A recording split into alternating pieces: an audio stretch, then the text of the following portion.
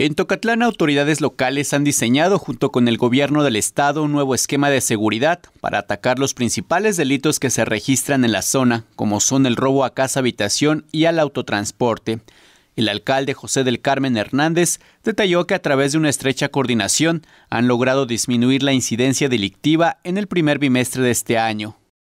Asimismo, también se han hecho acuerdos con los municipios aledaños para que podamos trabajar en conjunto y apoyarnos, ya que estamos a orillas de una carretera de paso, que es la México-Veracruz, y bueno, pues se dan a veces algunas circunstancias de las cuales eh, sí hay ocasiones que se lamentan ciertas circunstancias. Sin embargo, a dos, a dos meses y, y 15 días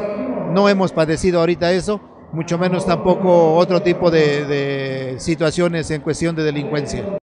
Gracias a la nueva política de coordinación que ha establecido el gobernador Marco Mena, el presidente José del Carmen Hernández destacó que será más fácil atender otros rubros como la salud, campo y educación.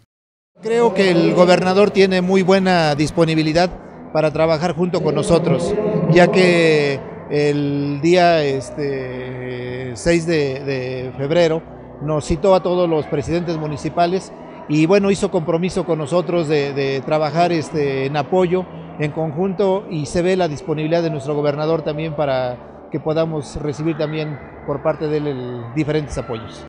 En próximas semanas presentarán junto con el Cabildo diversos proyectos, como la mejora en la infraestructura básica y urbana de la comuna, mientras que, ante la temporada de lluvias, ya emprendieron obras de rehabilitación en zonas bajas. Para el sistema de noticias,